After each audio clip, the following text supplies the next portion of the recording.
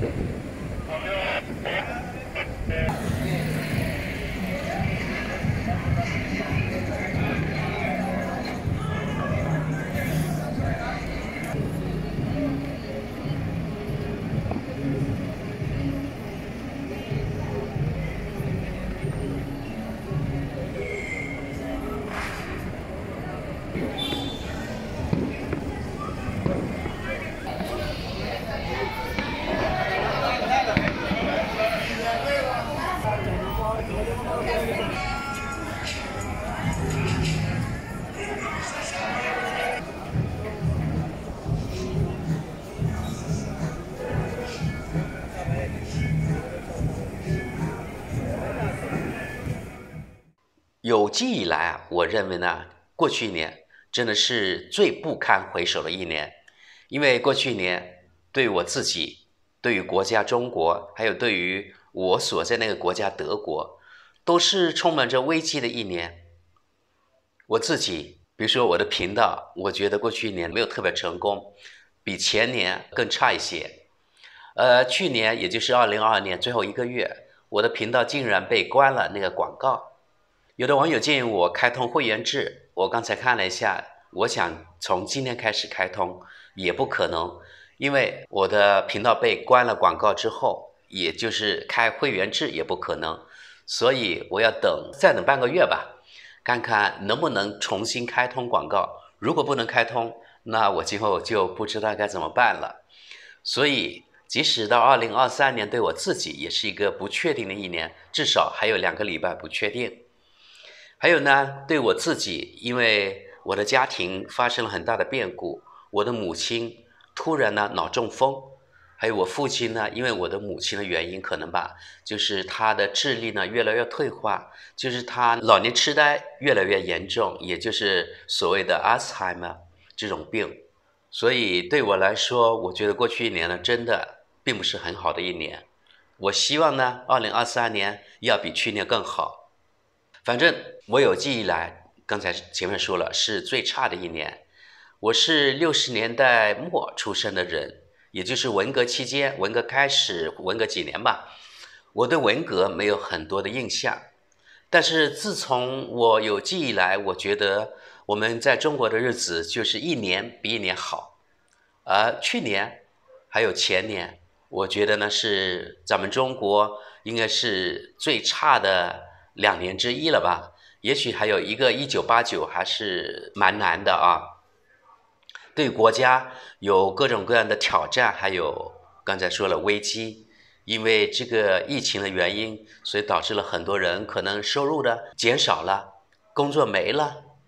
然后呢，中国面临的国际环境也非常的差，特别是受西方国家的挤压、打压，还有遏制。所以让我对西方国家真的失去了很多很多信心，也让我对西方这观感呀真的大打折扣。那么对于我所在的德国，也是我自己的国家，过去一年也是充满着，其实呢也是我到德国差不多三十年了，那最多危机的一年。首先，德国这个弱智的这个新政府执政一年了，因为是有绿党在里面。还有那个自民党在里面，特别是绿党，他的操作可以说啊，让人大跌眼镜。当然呢，我不是绿党的拥护者，我绝对是不拥护绿党这些政策。首先是他对于中国的仇视的这种政策，我特别反感。另一个呢，他这种激进的环保的措施，我觉得非常的不可实施。比如说，德国在能源短缺的情况下，绿党呢硬是关掉核电站。所以这点我觉得是很弱智的。另外呢，德国整个政府可能在绿党的这要挟之下呢，不分青红皂白，不管德国国家利益，就是一个劲的配合那个主子，也就是那个灯塔国来制裁俄罗斯，帮助乌克兰，然后导致了德国深层的能源危机，导致了物价飞涨，能源价格也是飞涨了。而我们自己个人呢？我们很多人可能我们的能源账单至少涨了一倍，甚至呢，如果是天然气的话，涨了数倍。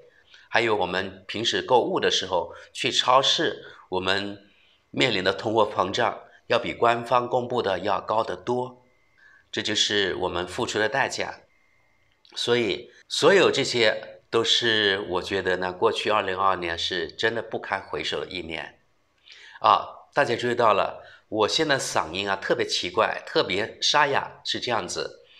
这两天我不知道是我得了那个新冠阳性了，还是我因为吹空调感冒了，我不知道。反正呢，我干咳已经两天了，加上我刚才睡了三个小时吧，因为这是我第一次单独过元旦节，已经很多年没有单独过了。这次是单独在多米尼加过元旦。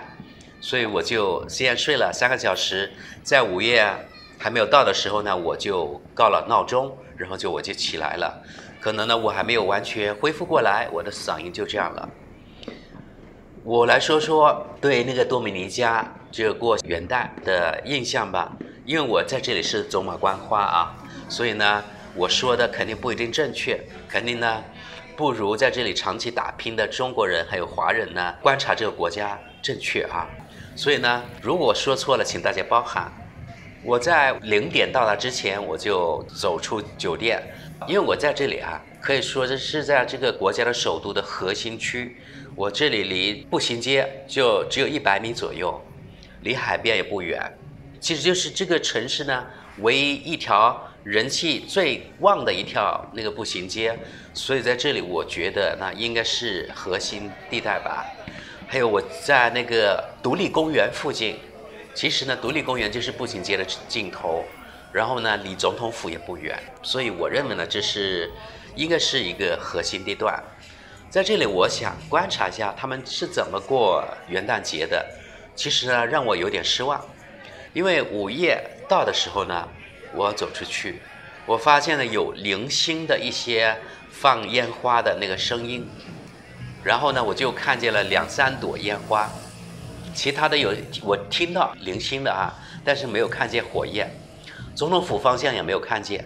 我们这个视频开始的时候呢，有个小哥，我原来以为他是一个呃无家可归者，也就是流浪汉，因为他坐在地上。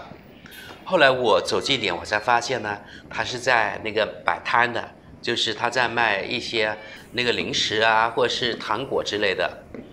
我就走过去呢，跟他祝新年好，他非常的感动。其实呢，我跟他祝新年好，我是想问他烟花的方向是不是总统府？他说不是。总统府方向呢，虽然我听到，但是呢没看见有烟花。就是我放眼望啊，只看见两三朵烟花，是不是我这个感觉，或者我这种观察是错误的？我认为啊，好像多米尼加。对这个元旦节并不是特别重视，我说的重视呢是相对的啊，因为我觉得在德国相对来说，他们对元旦是非常重视的。比如说在科隆，每年有很多人就是私人啊，单独买很多的烟花来放，但是我从来不买，因为我觉得没有必要。所以在那个元旦节午夜来的时候，那个全城啊，到处都是烟花。如果在莱茵河的话，还可以看到河边，然后看看两岸的烟花也是非常漂亮的。而在那个多米尼加，真的让我有点意外，可以这样说吧。我以为呢，应该可能同是这种基督教的国家，可能跟德国差不多，但是这在这里确实他们放烟花的很少很少。好，昨天呢，嗯，三十一号我去唐人街吧。有一个集市赶集，他提前了。本来如果按计划是元旦节那天的，因为元旦节大家都庆祝嘛，所以呢就是把这个赶集的提前到十二月三十一号那天。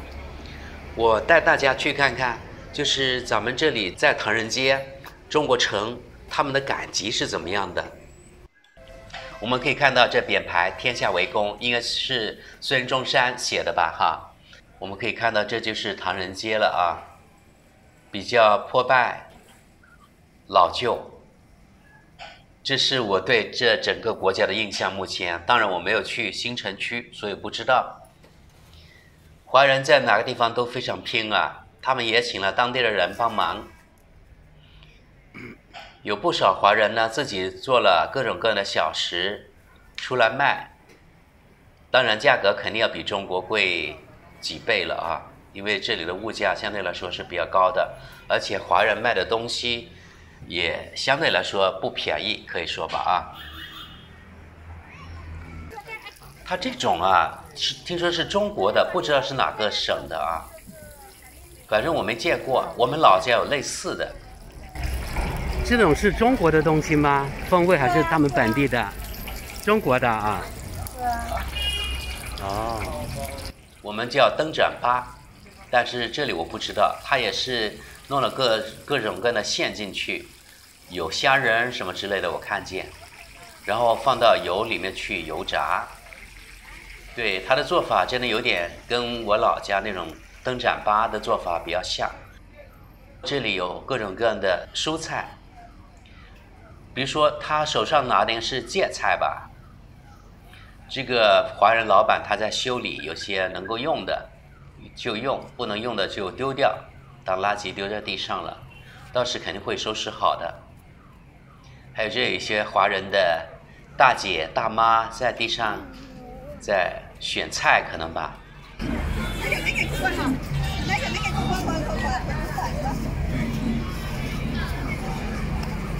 这个可能是帮工的这个帅哥。这个唐人街中间呢，它是过那个主要的街道啊，平时很多车的。像这种水果，不知道怎么叫。它的肉很像荔枝，但是比荔枝甜。这种叫什么果？佛什么果？对吧？非常好吃的这个，我在古巴也见过。这种果我没有见过啊，不知道是什么。那个应该是木瓜。当然，这里大多数都是热带的水果。这是芭蕉，香蕉的一一种。我们老家也有芭蕉。他还请了不少当地人来帮工呢。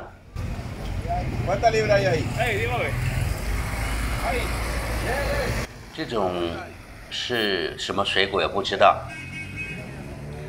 有点像我们老家的罗汉果，不过肯定不是罗汉果。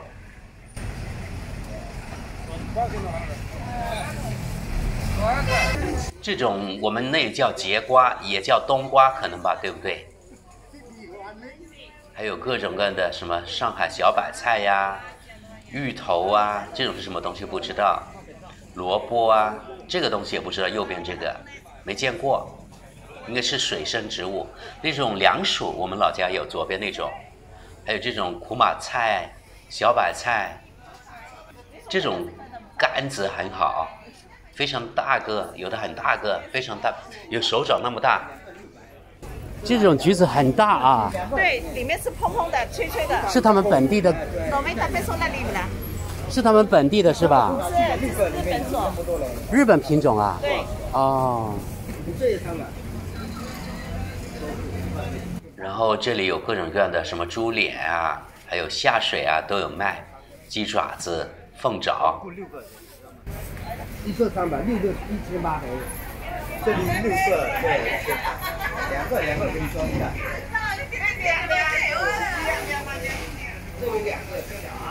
就是这种什么青菜、白菜，可能都是华人比较喜欢吃的啊。葱花、葱，还有这家子，很幸福的一家子，很年轻，然后有包粽子的、饺子的，这是华人。绿豆的，还有那个绿豆芽。拿出来卖，我发现一个非常有趣的现象啊，就是华人普遍外出的时候都会戴口罩，当地人一般都不会都不会戴。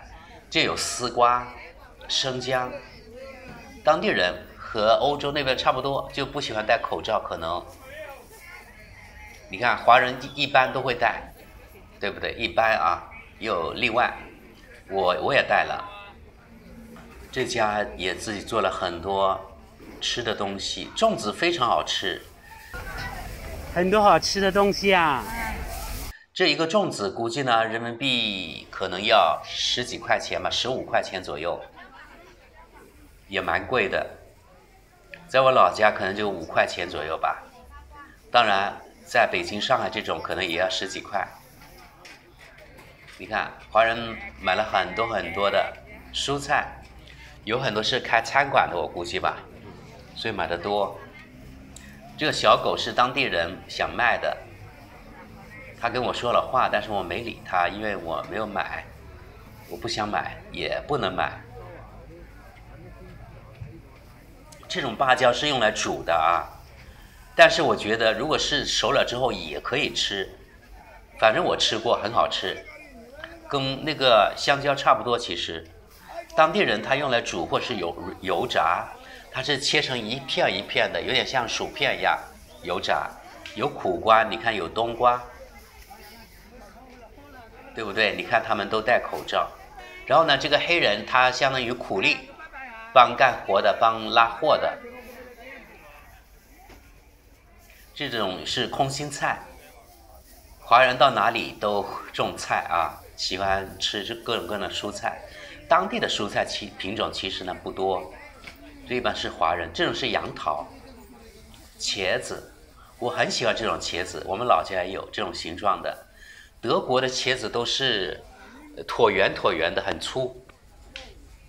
北京委员的见到茄子是圆的，好像有红薯叶，对不对？红薯叶，又有苦瓜、豆角，还有茄子。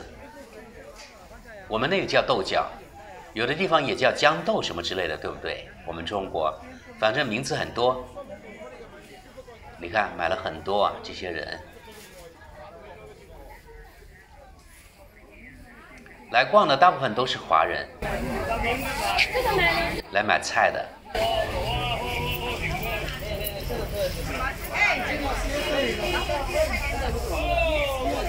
可见，这在这个。城市或者是在这个国家，华人还真不少。因为从蔬菜的那个供应来看，品种呢非常丰富啊，肯定有华人专门种菜在这里。四海为家，这个华人，呃，不是那个唐人街，从头到尾大概就是三百米左右吧，应该是核心区吧，它也辐射。辐射出去，你看大龙虾呀，这大龙虾非常非常大，还有这个叫螃蟹，对不对？帝王蟹是什么东西？我不知道，反正很大。这种鱼叫什么鱼？不知道，我看着有点可怕，有点恶心，这个形状。我对蛇一类的那种形状的东西都感到非常恶心。这种应该是鸭子吧？各种各样的下水，我我觉得猪肉、虾，我还是有 对不起，还是有点咳嗽。这虾好像它叫是四百一磅，它都是说磅的啊，四百也就是大概七十块人民币左右了，一磅九两，不便宜啊。这种鱼多少钱不知道，没问，估计一百多吧，一百多就是 二十多块钱，二十块钱。这个应该是母子，这两个人，本地人。啊，对，我觉得他们这里的钱呢，非常的脏，整体都这样。其实由钱的脏与干净也可以反映出一个国家的发达程度啊，这是我观察到的现象。比如说，我当年在那个埃及 看见他们的钱特别特别的脏，当时一埃镑都那个脏的不成体统，不成样子。这是什么虾？你看那个颜色很绿的啊，估计不便宜吧？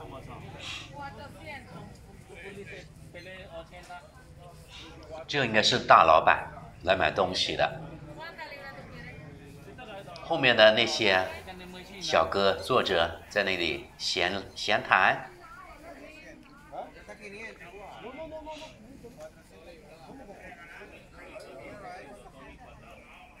这摊主应该是本地人，应该自己是老板，可能是渔民。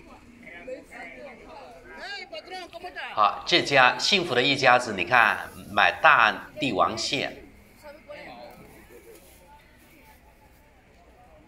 帅哥美女，他们一家好像四口人，比较乐观。这个头很大啊。啊，我也不知道，这叫什么螃蟹？我不知道。好像什么帝王蟹之类的。是吗？贵吗？贵吗？多少钱一磅？不知道。要几百可能吧。记录吗？啊，对对对呀，我来旅游的。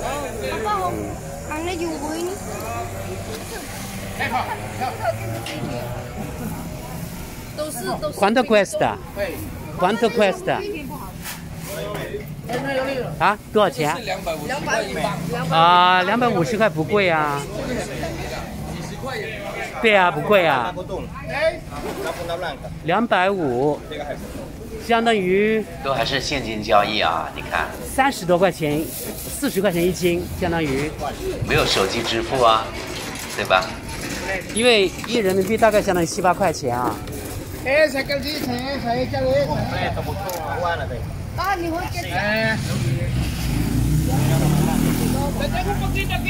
你是买了两只吗？多少钱？一千五百五。一千五百五。相当于相当于两百块人民币左右。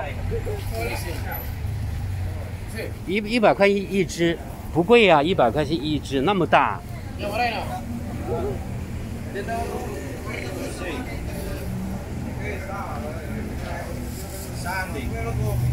你你是优酷博主吗？还是？是的。嗯。啊。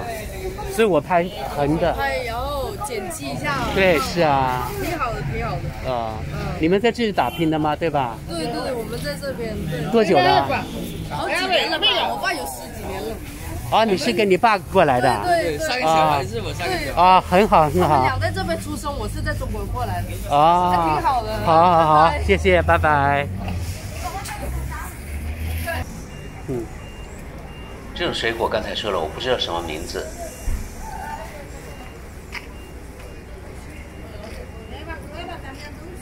啊？Sí. Pero ahora no dinero. 好了，那就这样吧。祝大家二零二三年更好，谢谢大家，我们下期见。